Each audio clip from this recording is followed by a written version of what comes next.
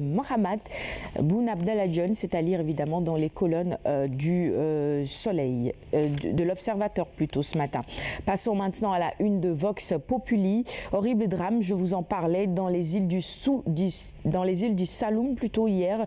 Mini Jola à Bétanti, 18 femmes mortes, 50 rescapées.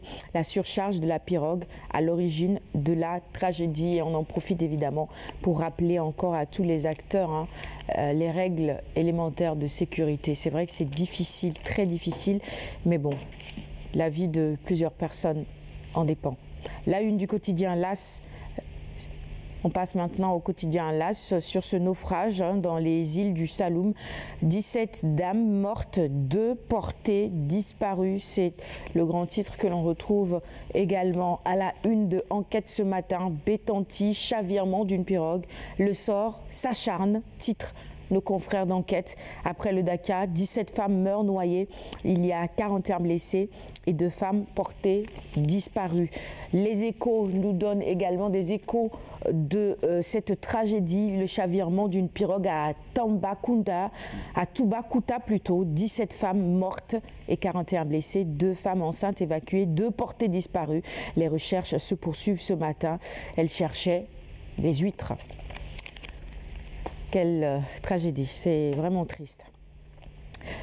On passe à un autre quotidien, avec ces libérations cette fois-ci, sur une toute autre affaire exclusive, euh, requête devant la chambre d'accusation, ce que réclame Khalifa Sall, IGO, parquet, police, juge d'instruction, ce que dit la requête du maire de Dakar, tout ce matin dans les colonnes de Libération. Wolf Quotidien nous emmène ce matin à l'hôpital Aristide Le Dantec avec ce chiffre 1904 corps autopsiés entre 2013 et 2017.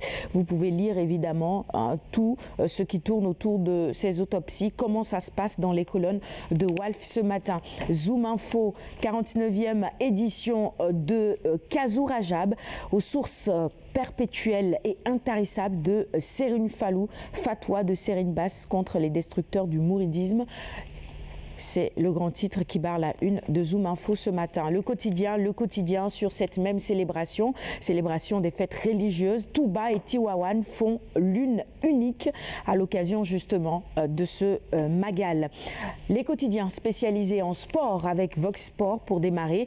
Alimal sur le championnat, il dit le championnat reste indécis jusqu'au bout. C'est vrai que euh, jusqu'à la dernière journée, rien n'est encore joué, même si il y en a qui ont déjà pris euh, de l'avance. Hier déjà sur le plateau, nous faisions le point avec Kumba Temar dans la chronique sport. Stade avec ce record établi en Italie, en Angleterre.